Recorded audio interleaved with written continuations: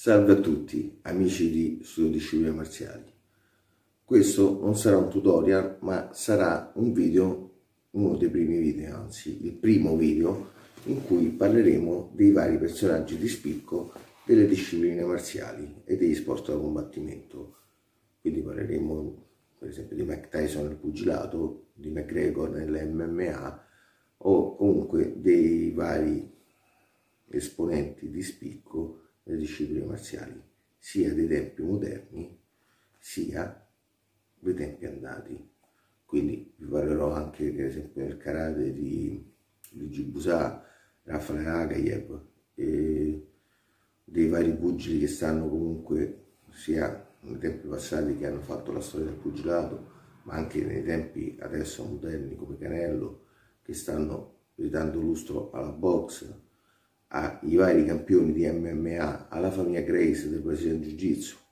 Oggi vorrei parlarvi, inizieremo questo video con il karate e più specificatamente il karate di Okinawa. Okinawa è, è stata la culla del karate.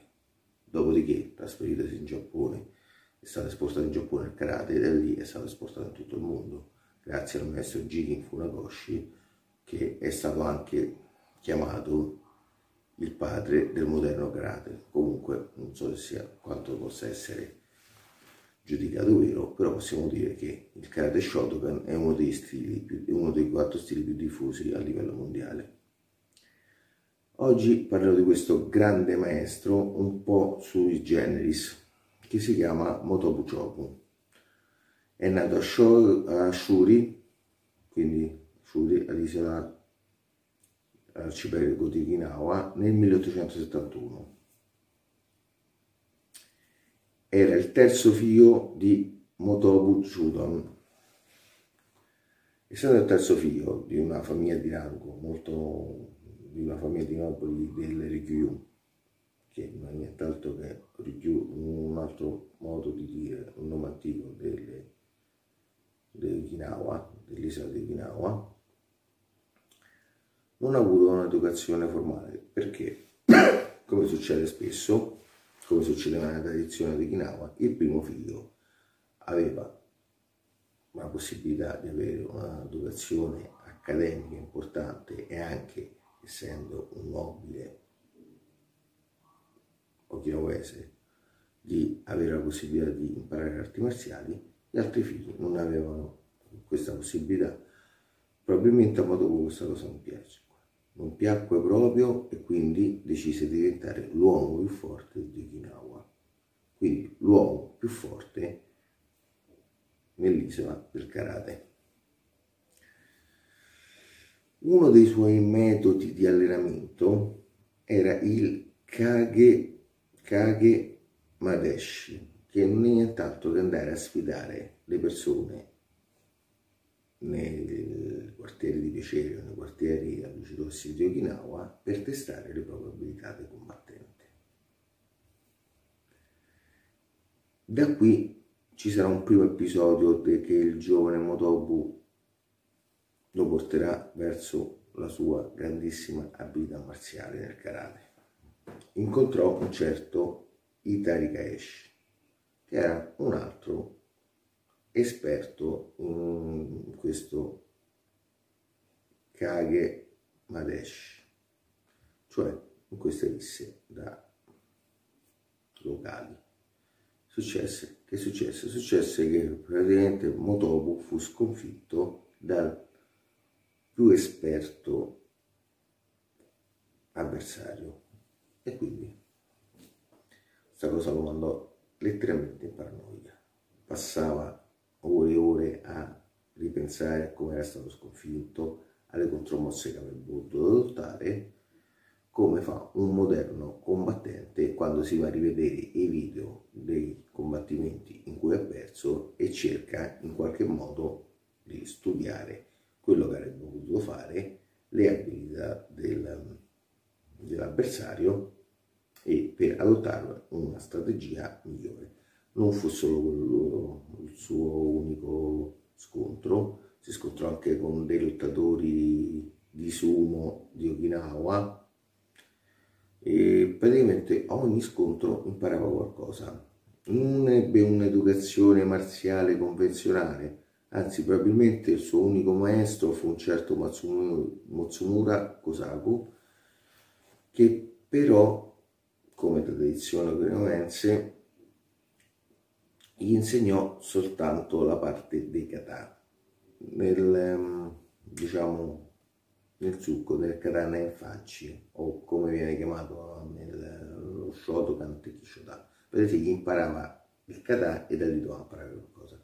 Motobu gli rompeva le scatole, voleva fare il tegumi o il kumite, combattimento libero, per poter applicare tecniche. Matsunura non era molto d'accordo perché conoscendo il personaggio aveva paura che avrebbe usato le tecniche per andare a testare nei locali di piacere, nei locali a luci rosse, nelle varie sfide.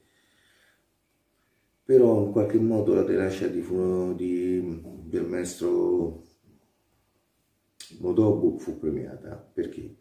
Perché c'erano dei... una tradizione grauense era l'insegnamento segreto. Si incontravano i, diciamo, gli allievi più forti, gli allievi più promettenti e veniva fatto un ulteriore allenamento in maniera segreta, semplicemente si prendeva là e si imparavano le tecniche che si diceva che erano migliori e che dovevano tramandare. Probabilmente Modobu, essendo un po' un birichino, andò lì a spiare le varie tecniche, poi cercò di applicarle in maniera da sola, tutto quanto, e da lì creò un suo tipo di sistema di combattimento. Quindi il nostro focoso Motoku cominciò il suo programma di allenamento e di studio del karate in maniera praticamente quasi da autodidatta. E ha preso una certa tecnica, una certa abilità un po' voi per le varie risse che faceva nei locali notturni qualcosa di impari a forza di prendere pugni e tutto quanto. Un po' perché comunque le tecniche gli erano state insegnate e quindi un po' perché sapeva come applicarli, un po' perché aveva anche delle qualità innate, infatti veniva soprannominato Motopolo Scimmia per la sua grande agilità. Nel 1921 si spostò da Okinawa al Giappone, più precisamente Osaka, e lì successe un fatto che lo rese famosissimo. C'era praticamente eh, una sorta di com- competizione aperta a tutti. Praticamente chiunque poteva andare là sul ring, affrontarsi judoka, pugili, lottatori di sumo e per testare le proprie abilità contro un altro avversario. A un certo punto un uomone straniero cominciò a sfidare tutti i vari combattenti, judoka, sumotori, di sumo però nessuno aveva il coraggio di salire sul ring con questo gigante per la, diciamo, l'epoca. I giapponesi non superavano neanche 1,60 m quindi questo gigante di 1,80 m che sapeva combattere era un pugile nessuno aveva il coraggio di salire sul ring con lui vuoi perché nonostante ormai Motobo avesse 50 anni era sempre a testa calda. Vuoi perché si sentiva sicuro di sé o avere una spinta nazionalistica, perché comunque questo stava facendo uno sbuffone a casa di altri, decise di salire sul ring. Lì si mise in guardia e da qui poi ci sono diverse versioni in cui magari alcuni dicono che si mise in guardia eh, Pinan Yodan. Non penso sia successo perché una guardia del genere per un pugile almeno discreto sarebbe stato facile da contrastarla io penso si sia messo in guardia a mani aperte comunque una guardia un po' particolare diversa dal pugile. E riuscì a stenderlo con un colpo alla tempia. Lì praticamente il karate era misconosciuto, Funakoshi stava cominciando a muovere i primi passi in Giappone, quindi nessuno sapeva che tipo di tecnica era. Ma da lì scoppiò il boom del karate, o comunque dell'arte di Okinawa, del combattimento di Okinawa lì rese famosa, quindi possiamo dire che anche grazie a lui, non soltanto, probabilmente ce l'avrebbe fatta comunque perché il lavoro di, per esempio, Messo Funakoshi era molto più certosino rispetto a quello di Motobu, ci fu questo boom del karate in Giappone e da lì fortunatamente il karate del Giappone venne esportato in tutto il mondo.